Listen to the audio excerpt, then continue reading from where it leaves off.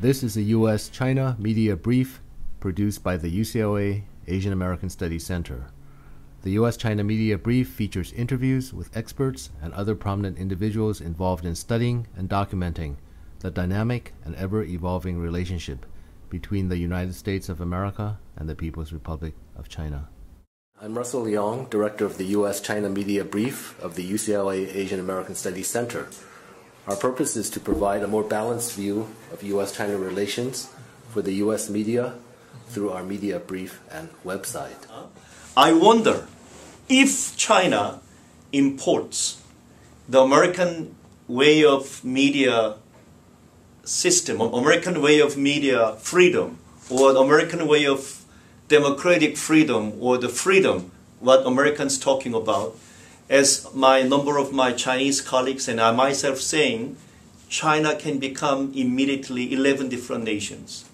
Can be meaning can be torn apart into number of different entities. What that's what the the American power for the new pro, the new pro, project for new American century, the China, the U.S. may intend to to make that happen uh, in order to continue my as Chomsky put it, imperial ambition to the whole globe.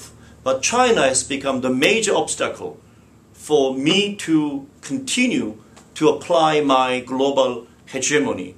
And so, in order to make that happen, I, I, I have to make the, the other big guy weaker or divided.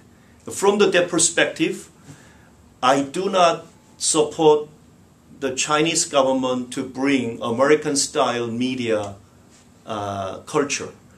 It will not help. It will not serve the people. It will not make the China as a one united country. Having said that, in that sense, some sort of media control may be necessary for the country like China, for the country like Cuba, for the country like the DPRK. For the DPRK case, they are at war with United States technically. Since 1973, July 27, they only have signed for the, the not peace treaty, but the armistice agreement, which can be broken at, at any moment by either party.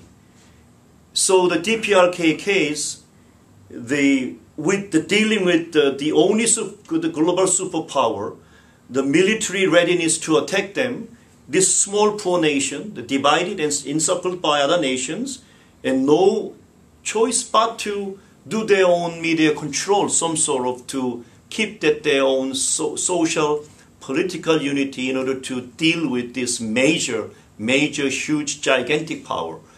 So by the same token, again back to China, many may not agree with me, but it's my argument. China must not follow after American media system as its model.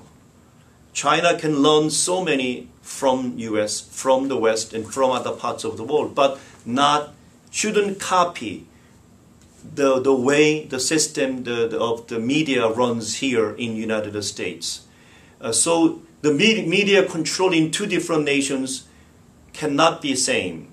It should not be same. It can be different.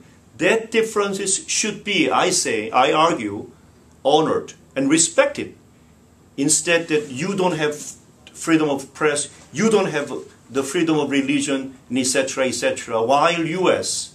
Uh, do the in the global the scale that the, the military invasion or the through the culture, the soft power still dominates the whole world.